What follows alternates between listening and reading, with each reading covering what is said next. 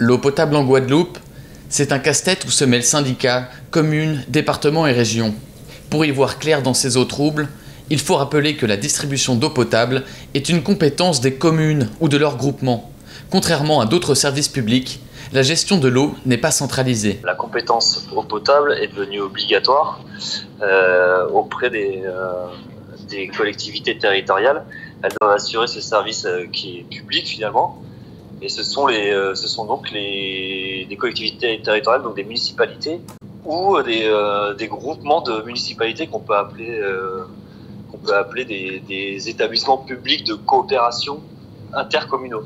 L'idée, c'est de, de, mutualiser les, les, compétences au sein de plusieurs municipalités pour qu'elles puissent rendre un service public de qualité auprès des usagers.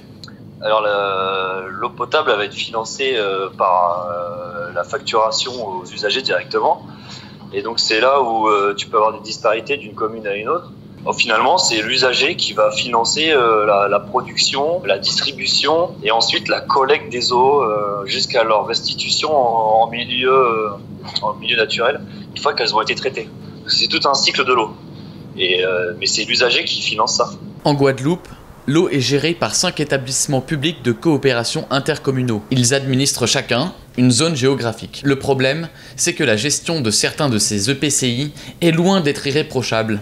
En juillet dernier, le préfet a adressé une lettre au SIAEAG, le syndicat intercommunal d'alimentation en eau et assainissement de la Guadeloupe. Dans cette lettre, Philippe Gustin, le préfet, menace de dissoudre ce syndicat, qu'il considère incapable d'assurer sa mission de service public. Il constate un défaut de trésorerie. Le préfet de Guadeloupe a saisi la Chambre régionale des comptes et la Chambre a constaté un déficit du SIAG de plus de 25 millions d'euros.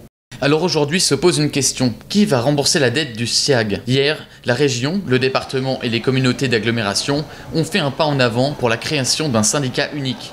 Il regrouperait tous les acteurs de l'eau en Guadeloupe dans une seule entité. Mais les négociations n'ont pas abouti. Ce qu'on peut dire, c'est qu'il y a quand même euh, toute une restructuration euh, qui se met en place.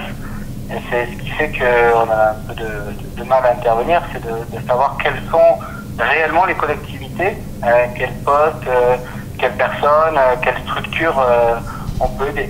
Si vous voulez des chiffres, il y a besoin de gagner, on va dire, 10 millions de mètres cubes pour arrêter les tours d'eau.